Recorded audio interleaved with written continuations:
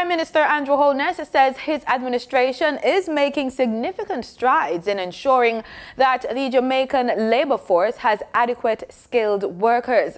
This is due to the work and investment in the transformation of the island's education system to produce competent Jamaicans.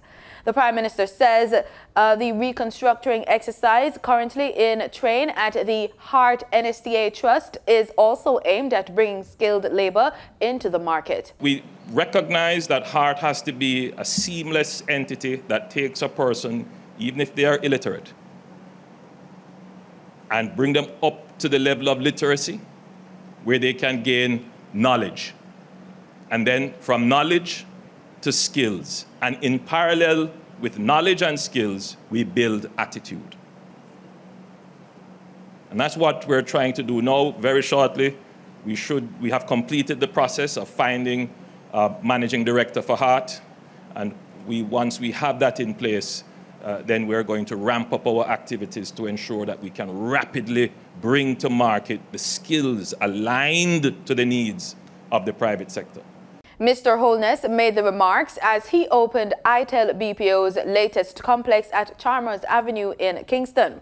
This 90,000 square foot complex is a 7 million US dollar investment in the BPO sector.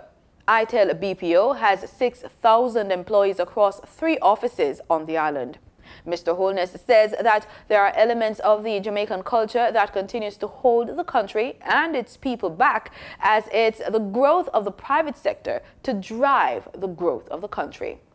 There is nothing wrong with doing well in business. There's nothing wrong in making a profit. We must not despise entrepreneurs. We must build them we must appreciate them. We must encourage them. We want more entrepreneurs like yourself.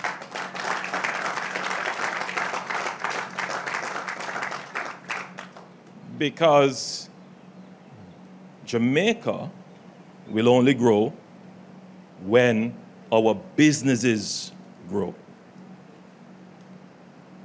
For a long time, the culture and thought of the average Jamaican is that Jamaica will only grow when the government does well or when the government grows. He explains the government's role in the world of business. The role of government in all of this is to make it easier for businesses to grow.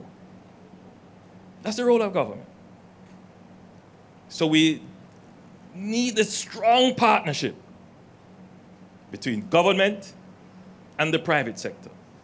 The company is celebrating 10 years of existence this year, and the chairman and CEO of ITEL, Yoni Epstein, shared that his company is making CARICOM a reality, explaining the company is once again looking to expand within the region. We are very proud to be the largest BPO to ever be born out of Jamaica.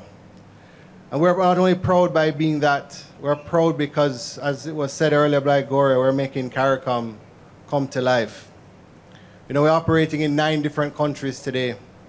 Four of those are of the 15 CARICOM nations. And we have our sights on a fifth uh, that we will mention soon and a couple others thereafter. And the belief as to why we've expanded ourselves outside of Jamaica is not not only because of expanding our opportunities and our geodiversity, it is, it is knowing that our clients want English. And why, why not go to the English speaking Caribbean?